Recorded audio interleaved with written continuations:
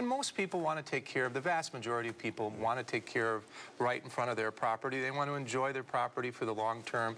Um, and this would allow the DNR input and say and not let them overreach. And, uh, you know, that's another example where um, it's, you know, they're pretending it's wide open, but no, there's still a general permit required from the DNR. Another criticism you hear of this is that it's it's become political. An example of this would be, I think the law as it currently stands right now allows the DNR board to say that uh, we think that this uh, waterway is of uh, natural resource interest, and that would require a permit for a developer to do it.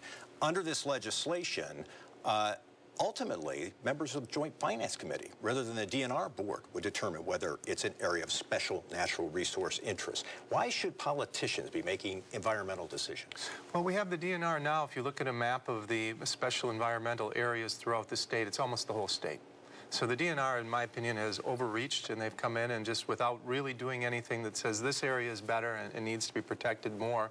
We have great laws in Wisconsin protecting the environment now, and these really are more hyper laws and, and more strict laws in particular areas, and we should have that in areas that are particularly pristine, particularly need extra protection. But if you look at the map of the state, the DNR and their wisdom has said, well, pretty much all the state needs special protection. That was never the intent when we gave the, the DNR the ability to add special protections, and this would draw it back and make them come and prove to, and actually it's now the in the compromises we're working through this process. So we'll have some, and I think this will provide again a balance. I think it's you know if they can prove an area needs to be protected specially, it shall be. I've got only just a couple of seconds left. Two very quick questions. Is the DNR on board on this, or, or are they having some hesitation about backing this? Well, the DNR has some, some of their own ideas on this, and we're actively working with them to get a, a, package that makes sense. Because, again, we want to have balance between getting property owners the ability to move forward with their property, their, their projects, what they want to do with their property, and protect the environment. The DNR's role is to protect the environment.